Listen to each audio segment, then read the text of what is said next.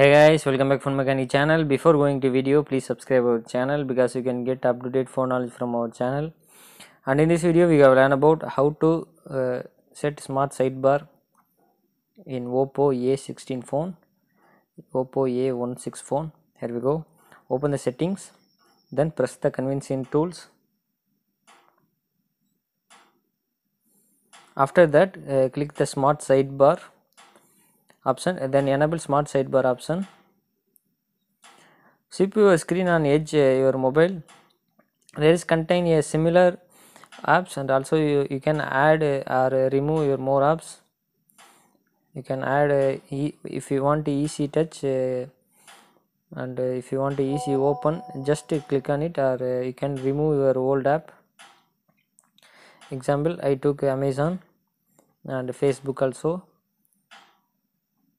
and uh, I took uh, Google Chrome if you want. You can customize to your app also.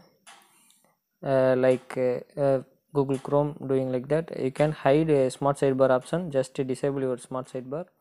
That's all fine thanks for watching